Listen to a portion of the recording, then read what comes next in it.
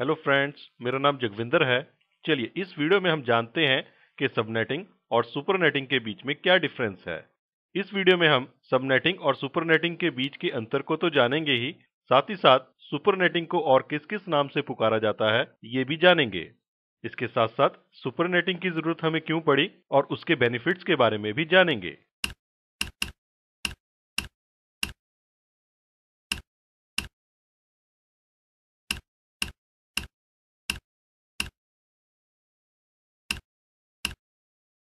चलिए शुरुआत करते हैं सबनेटिंग से।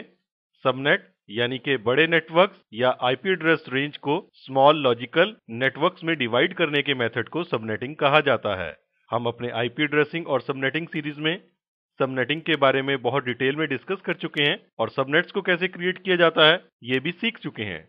मान लीजिए, मेरा एक इंटरनेटवर्क है जिसमें हमारे पास पाँच नेटवर्क्स हैं और आईपी एड्रेसेस को सेव करने के लिए हम इन पाँच नेटवर्क्स में सी क्लास के अलग अलग आईपी एड्रेसेस को यूज़ न करके एक ही नेटवर्क के सब नेटवर्क्स क्रिएट करते हैं। तो मान लीजिए मेरे पास एक आईपी एड्रेस है 200.10.20.0 और इसका डिफ़ॉल्ट मास्क सी क्लास का 255.255.255.0 इसमें से हमें पाँच सबनेट्स क्रिएट करने हैं। तो सबनेट्स जो हम क्रिएट करेंगे वो आपके सामने स्क्रीन पर हैं। इसे कैसे कैलकुलेट करना है? इसके लिए आप सबनेटिंग वीडियो सीरीज़ को देख सकते हैं। और ये कैलकुलेटेड सबनेट्स को हम इस प्रकार पाँच सबनेट्स के ऊपर असाइन कर सकते हैं। चलिए, अब जरा सुपरनेट के बारे में जान लें। सुपरनेट की हेल्प से हम दो या दो से ज़्यादा आईपी नेटवर्क या सब नेटवर्क्स को, जिनका की common net mask subnet mask या सीआईडीआर प्रीफिक्स हो, उन्हें कंबाइन करके एक नया सिंगल नेटवर्क एड्रेस क्रिएट कर सकते हैं। ये कैसे क्रिएट करते हैं, इसे हम तब समझेंगे जब हम सुपरनेट को कैलकुलेट करना सीखेंगे। तो इसकी डेफिनेशन से आप समझ गए होंगे कि ये सबनेटिंग का बिल्कुल उल्टा है, यानी कि छोटे नेटवर्क्स को या सब नेटवर्क्स को कंबाइन करके आप एक नया और बड़ा नेटवर्क क्रिएट कर सकते हैं। सुपरनेट को इंडस्ट्री में कई नामों से जाना जाता है, जैसे कि supernetting prefix aggregation route aggregation या इसके अलावा राउट समराइजेशन तो जहाँ पे भी आपको ये टर्म्स दिखाई दें, आप इन्हें रिलेट कर सकते हैं सुपरनेटिंग से या सुपरनेट से। चलिए जानते हैं सुपरनेटिंग की ज़रूरत हमें क्यों पड़ेगी। सुपरनेट की ज़रूरत किसी भी कंपनी या ऑर्गेनाइजेशन को तब पड़ सकती है जब कोई भी क्लासफुल आईपी एड्रेस उसकी ज़रूरत को पूरा न कर सके।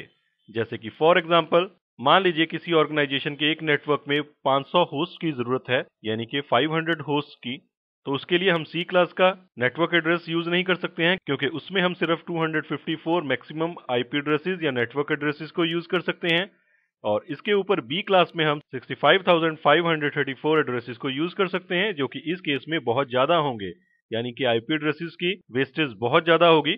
तो यहाँ पे हम दो सी क्लास के एड्रेसेस को कंबाइन करके उसके साथ सी सीआईडीआर प्रीफिक्स लगा के एक सुपरनेट क्रिएट कर सकते हैं जिससे कि आईपी एड्रेसेस की वेस्टेज को तो हम रोक ही सकते हैं। साथ ही साथ हमारा पर्पज जो कि 500 होस्ट को आईपी एड्रेस असाइन करने का है वो भी फुलफिल कर सकते हैं। आप घबराइए नहीं, इसे कैसे कैलकुलेट करना है और ये सुपरनेट कैसे क्रिएट करना है, इसे हम सीखेंगे। अभी आप ये समझ लीजिए कि हमें इसकी ज़रूरत क्यों पड़ेगी। इसके अलावा, रीजनल राउट एग्रीगेशन को फैसिलिटेट करने के लिए भी सुपरनेट की ज़रूरत पड़ सकती है। इसके लिए आप टेलीफोन नेटवर्क्स का एग्ज़ाम्पल ले सकते हैं। टेलीफोन नेटवर्क्स में हर एरिया को एक अलग कोड दिया जाता है, जैसे कि इंडिया में दिल्ली को ज़ीरो इलेवन, मुंबई को ज़ीरो डबल टू और इसी प्रकार के दूसरे एरियाज़ को या सिटीज़ को अलग अलग एस कोड्स दिए हुए हैं। इंटरनेशनल लेवल पे भी सभी कंट्रीज़ को आई कोड्स मिले हुए हैं। अब अगर दिल्ली में बैठा हुआ कोई आदमी अपने टेलीफोन को यूज़ करके मुंबई कॉल करना चाहता है तो वो मुंबई का नंबर ज़ीरो डबल टू और उसके बाद जो भी टेलीफोन नंबर मुंबई का जहाँ पे वो कॉल करना चाहता है, उसे डायल करता है तो नियरेस्ट एक्सचेंज सिर्फ़ ज़ीरो डबल टू को देख के उस कॉल को ट्रांसफ़र कर देती है मुंबई और उसके बाद की सारी रिस्पॉन्सिबिलिटी मुंबई एक्सचेंज की है कि उस कॉल को डेस्टिनेशन तक कैसे कनेक्ट किया जाए। और दिल्ली एक्सचेंज को ये जानने की ज़रूरत नहीं है कि मुंबई का एक पर्टिकुलर टेलीफोन नंबर मुंबई के किस एरिया में है। तो इसी तरीके से इसे हम कंपेयर कर सकते हैं आईपी एड्रेसेस के साथ। पूरे वर्ल्ड को फाइव रीजनल रजिस्ट्रीज में डिवाइड किया गया है और उसी के अकॉर्डिंग आईपी एड्रेस अलॉटमेंट की गई है इन रजिस्ट्रीज से इंटरनेट सर्विस प्रोवाइडर्स को और उसके बाद कंपनीज़ को। सुपरनेट को हम क्यों यूज़ करते हैं? इसे जानने के बाद चलिए इसके बेनिफिट्स को डिस्कस कर लेते हैं। तो इसका सबसे पहला बेनिफिट है कि इसकी हेल्प से ऑर्गेनाइजेशन अपने नेटवर्क साइज़ को मॉडिफाई कर सकती हैं। जैसे कि अभी मैंने आपको एक एग्ज़ाम्पल में समझाया था कि दो सी क्लास के नेटवर्क्स को कंबाइन करके हम एक नया सुपरनेट क्रिएट कर सकते हैं।